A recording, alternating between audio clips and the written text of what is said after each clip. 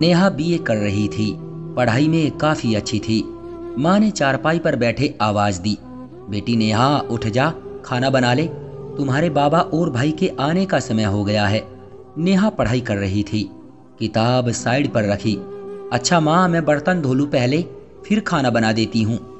नेहा के बाबा बैंक में जॉब करते थे और भाई भी बैंक में मैनेजर की पोस्ट की तैयारी कर रहा था। एक भाई और अकेली बहन थी। नेहा बोली, माँ जाए, मुझे दुकान से टींडे ला दे, मैं खाना बना देती हूँ। माँ बोली, हर रोज टींडे बना लेती हो, तुम्हारे बाबा नहीं खाते, फिर उनके लिए अलग से खाना बनाना पड़ता है। नेहा माँ से बोली, मैं बना दूँगी, आप जाएँ अब, मुझे टींडे ला दे। खैर, नेहा ने खाना बनाया, रात हो चुकी थी, और वो टीवी के सामने बैठी अपना पसंदीदा टीवी सीरियल देख रही थी। उसको कुकिंग करने का बड़ा शौक था। वो तरह तरह के खाने बनाती रहती थी। अलग अलग रेसिपी में हाथ साफ़ करती रहती थी। कुछ देर बाद किसी ने दरवाज़ा खटखटाया। माँ ने बोला, ये कौन आ गया इस वक्त? टाइम देखा, रात के ग्यारह बज रहे थे। भाई ने दरवाज़ा खोला तो देखा सामने बाबा के दोस्त राजवीर और उनकी पत्नी शांति खड़ी थी। नेहा ने राजवीर, अंकल और आंटी को नमस्ते किया। फिर राजवीर, अंकल नेहा के बाबा के पास बैठ गए। नेहा उठी और अपने कमरे में चली गई। वो पढ़ाई करने लगी। नेहा के बाबा ने पूछा, भाई राजवीर, इस टाइम आना हुआ, सब ठीक तो है ना? बोला, देख भाई, बहुत ज़रूरी काम से आया हूँ। मेरी बेटी का रिश्ता आया है। लड़का लंदन में जॉब करता है। मैं चाहता हूँ बेटी के साथ साथ अपने बेटे आकाश की भी शादी कर दूँ। नेहा के बाबा बोले, अच्छी बात है। हमारे लिए क्या हुक्म है? राजवीर अंकल कहने लगे, नेहा और आकाश की शादी की बात कर रहा हूँ। ये सुनना था। कि नेहा के बाबा बोले, देख भाई, नेहा अभी पढ़ रही है।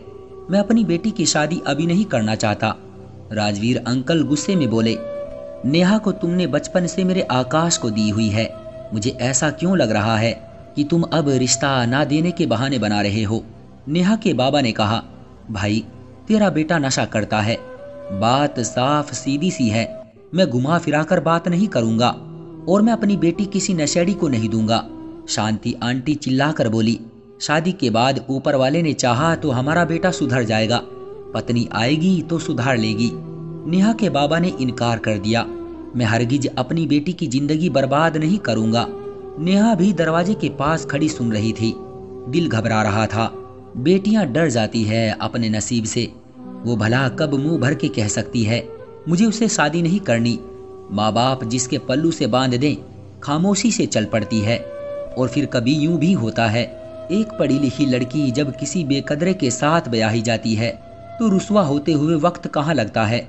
नेहा का जिस्म काँप रहा था। उसके सामने आकाश का चेहरा था, जो शराबी था, और एक दो बार उस पर चोरी का चालान भी कट चुका था। नेहा दिल ही दिल में प्रार्थना कर रही थी। राजवीर अंकल गुस्से से उठे, कसम उठाकर कहने लगे, नेहा मेरे बेटे आकाश की होने वाली पत्नी है। और मैं अपने बेटे आकाश के लिए नेहा को हर हाल में लेकर जाऊँगा। चाहे कुछ भी हो जाए, नेहा के बाबा भी गुस्से से बोले, मेरी बेटी है, मैं वही उसकी शादी करूँगा जहाँ मुझे अच्छा लगेगा। राजवीर अंकल गुस्से से वापस चले गए। नेहा रोने लगी। माँ ने महसूस किया कि नेहा रो रही है। उसने नेहा को अपने पास बुलाया। नेहा की पलकें भीगी हुई थी। मम्मी, मुझे आकाश से शादी नहीं करनी। माँ ने सर पर हाथ रखा। मेरी बच्ची, ना करना। कौन करवा रहा है भला तुम्हारी शादी उस शराबी से। तू ना उदास हो। नेहा कॉलेज जाने लगी। बीए पूरी की। रिज़ल्ट का इंतज़ार था। बाबा ने एक रिश्ता देखा। लड़का वकील था। वो समझदार और संस्कारी लड़का था। उसे अच्छे बुरे की खूब अच्छी तरह से पहचान थी। किसी दोस्त ने वो रिश्ता बताया था। बाप घर आया। नेहा की माँ से मशवरा करने लगा। एक रिश्ता आया है नेहा के लिए। लड़का वकील है अच्छा है। तुम बताओ क्या कहती हो? मेरी तबीयत अब खराब रहती है। राम जाने कब ज़िंदगी साथ छोड़ जाए। चाहता हूँ जीते जी अपनी बेटी का घर बसा दूँ। लड़के के घर गए। घर देखा बहुत प्यारा घर था। सब लोग बहुत अच्छे थे। नेहा की माँ को रिश्ता बहुत पसंद आया। लड़का जिसका नाम कन्हैया था, वो देखने में बहुत प्यारा था। उसने झुककर सबके पैर छुए। उसका बात करने का अंदाज बहुत ही खूबसूरत था। रिश्ता पसंद आ गया। नेहा की माँ ने कन्हैया की माँ से कहा, बहन, आप भी आ जाना हमारे घर। अगले दिन कन्हैया के माँ बाप भी नेहा के घर आ गए। घर बार देखकर बात पक्की हो गई। उधर राजवीर अंकल को जब पता चला कि नेहा का रिश्ता कहीं और हो गया है तो उन्होंने कहा, अगर उन्होंने बेटी हमको ना दी तो हम घर उसका भी ना बसने देंगे। अपने ही तो कातिल होते हैं। हमारी चाहतों के, हमारी खुशियों के, हमारे ख्वाबों के, हमारी आत्मा के कन्हैया ने अपनी बड़ी बहन से कहा, दीदी, मुझे नेहा का नंबर दे दो। शादी से पहले कुछ बातें कर लूँ उससे। कन्हैया की बड़ी बहन जो शादीशुदा थी, कन्हैया से बोली, तुम एक वकील हो। उससे सवाल कर करके तुम उसे पका दोगे। बहुत प्यारी और मासूम सी है हमारी होने वाली भाभी।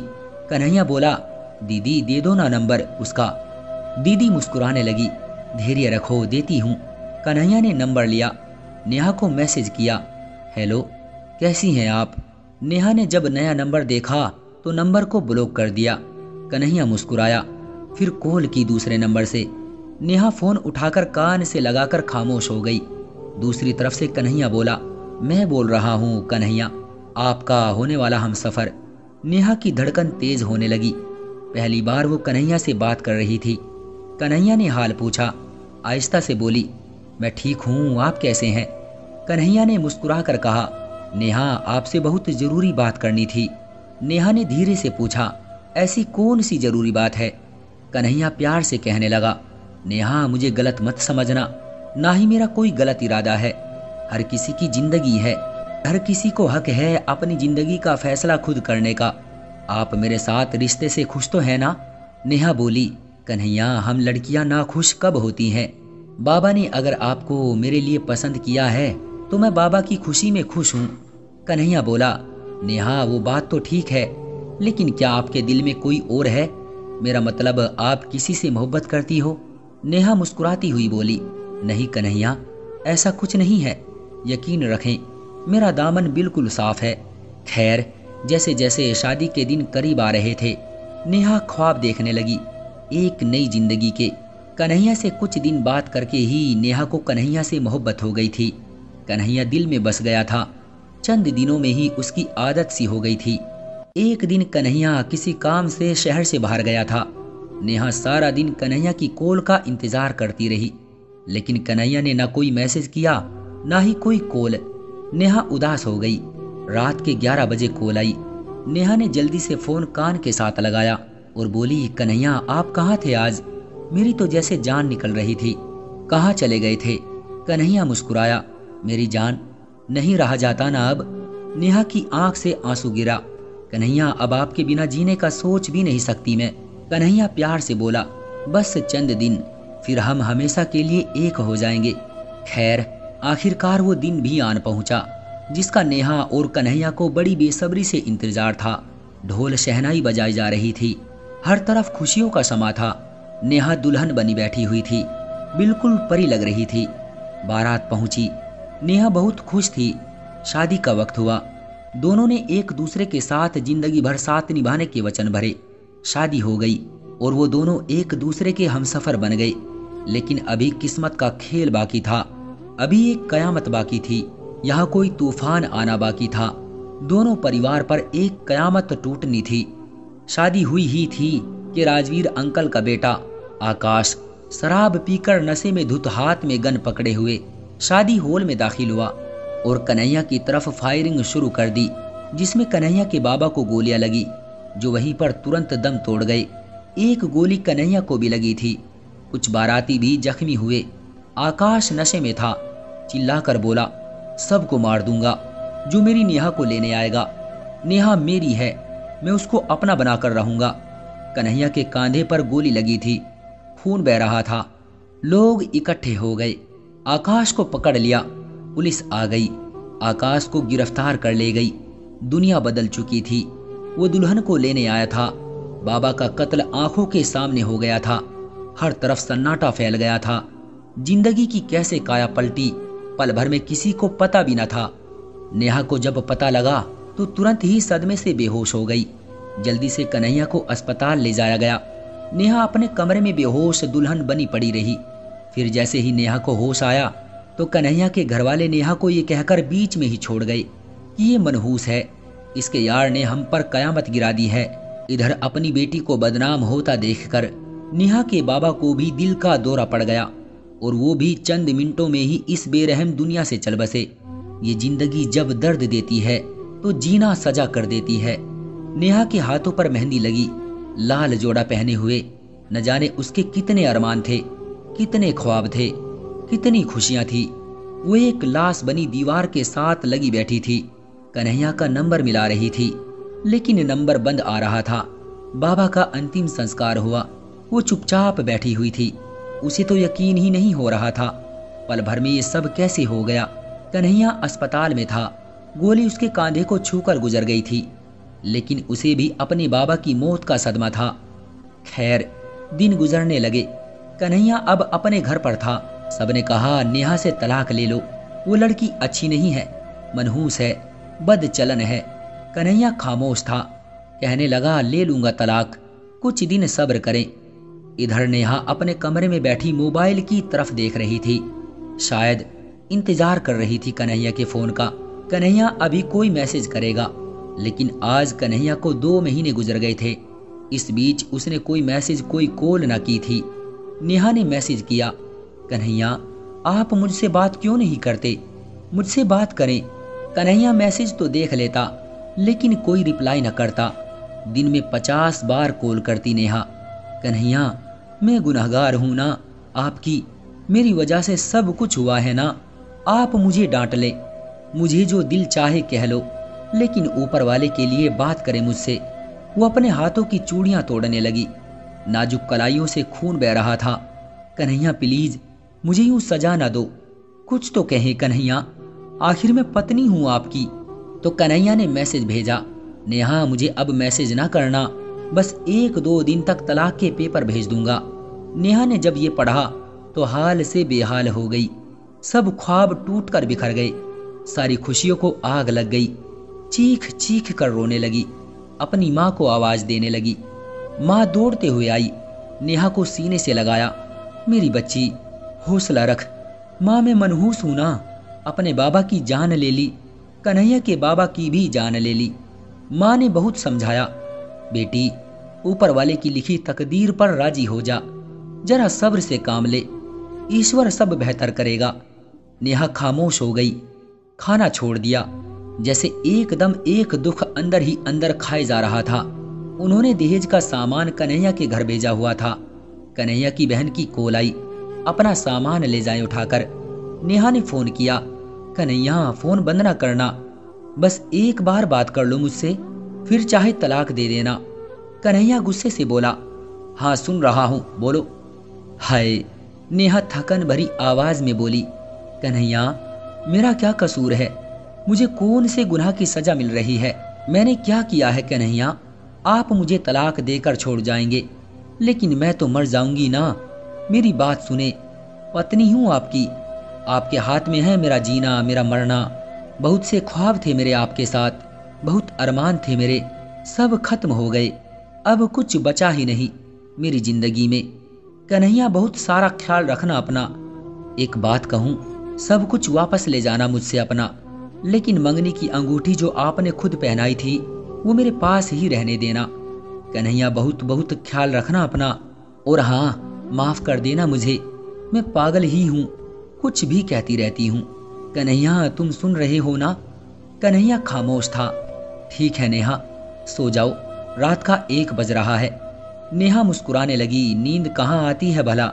सजाए मौत के कैदी को। जब कैदी को पता चल जाए कि सुबह उसको फांसी चढ़ना है तो वो कब सो पाता है? कल आपने मुझे तलाक देनी है। कन्हैया मेरी जान, कैसे सोच सकती हूँ नींद का? लेकिन आप कहते हैं तो कोशिश करूँगी सोने की। हो सकता है हमेशा के लिए आँख लग जाए, मुझे सुकून मिल जाए। कन्हैया ने फ़ोन बंद कर दिया। नेहा आँखें बंद करके लेट गई। आँखों से न जाने क्यों आँसू बह रहे थे। सुबह हुई, सब घर वाले बैठे थे।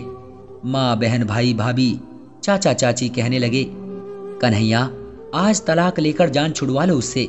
तभी कन्हैया धीरे से बोला, मम्मी, मैं नेहा से तलाक नहीं लूँगा। मम्मी, उस बेचारी का क्या कसूर है? उसको किस जुर्म की सजा दे रहे हैं हम? मम्मी, हम किसी और के गुनाह की सजा, उस बेगुनाह पर क्यों जुल्म करें? वो पिछले तीन महीने से मेरी खुशामद कर रही है, मुझसे अपना कसूर पूछ रही है। भाई, आप ही बताएँ, क्या कहूँ उससे कि मैं मर्द हूँ और तुम औरत हो? बस तुम्हारा गुनाह औरत होना है। भाई, हमारे बाबा दुनिया छोड़े हैं तो अपना बाप उसने भी खोया है। हम गुस्से में अपनी नाक को ऊँचा दिखाने में उसकी ज़िंदगी क्यों बर्बाद करे? चाची जान, आप कहती हैं वो मनहूस है। आप कैसे किसी को गुनागार ठहरा सकती है? कन्हैया सभी के सामने हाथ जोड़कर बैठ गया। नेहा इस घर की इज़्ज़त है। मेरी पत्नी है। मैं उसको तलाक नहीं दूँगा। मुझे माफ़ कर देना। मम्मी, मैं एक गैरतमंद मर्द हूँ। बस बहुत हो चुका। मैं तो अब नेहा को लेने जा रहा हूँ। माँ ने मुस्कुरा कर कहा, बेटा, हमें माफ़ कर दे।